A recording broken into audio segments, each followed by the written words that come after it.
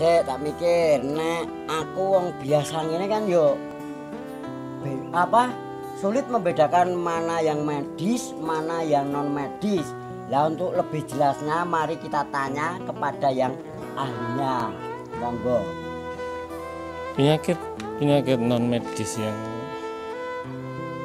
disebabkan oleh sihir ya teluh tenung santet guna-guna itu mudah sebenarnya cara membedakannya biasanya kalau penyakit-penyakit yang berasal dari gangguan-gangguan jin itu dia datang pada sore sampai malam hari Sekitar jam habis asar misalnya.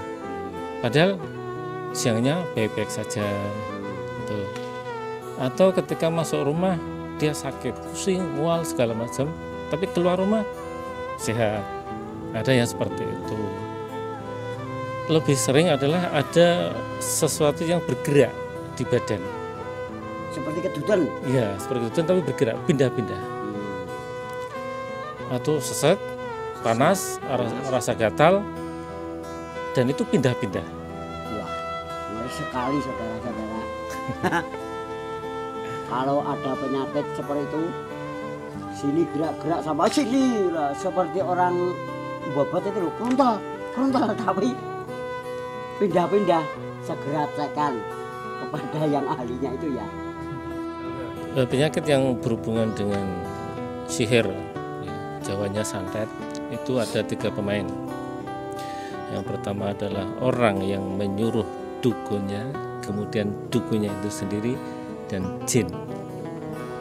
Ketika dibersihkan jin-jin yang menyebabkan sakit itu, dan itu bisa pasien merasakan lebih nyaman tapi masih ada dukun yang akan bermain dan mengembalikan santet itu lagi. Bersihkan lagi. Nanti bersihkan lagi.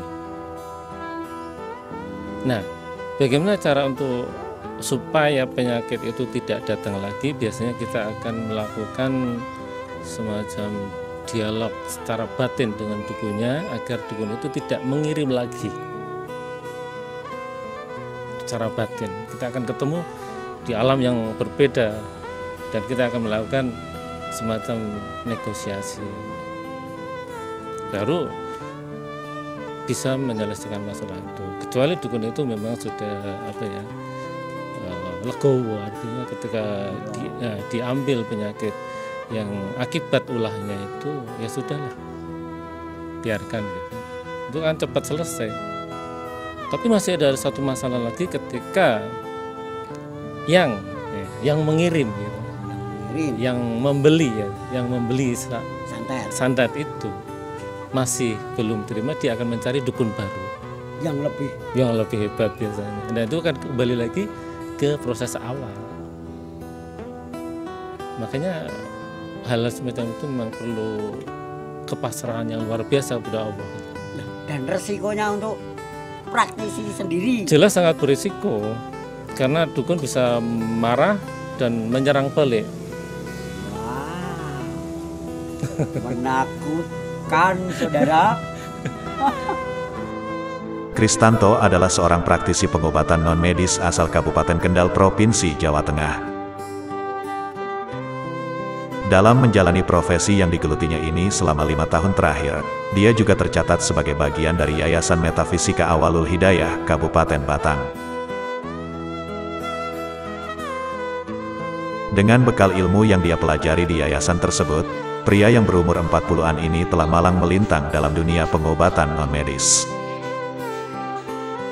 Selama ini, beliau menggeluti profesinya sebagai spesialis praktek bedah aura, buka cakra, menetralisir energi negatif, menguatkan energi positif yang bermanfaat untuk berbagai macam hajat hidup, seperti mempermudah proses jodoh, rezeki, usaha, dagang, karir, maupun menguatkan aura, kecantikan, dan lain-lain.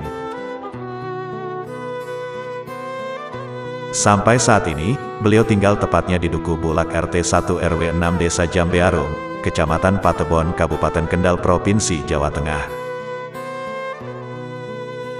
Pria yang berpenampilan nyentrik ini telah mengobati beragam penyakit non-medis yang dialami oleh ratusan pasiennya, yang tersebar baik dari Kabupaten Kendal, Kota Semarang, Purwodadi, dan sekitarnya. Bahkan ada juga yang dari luar Pulau Jawa.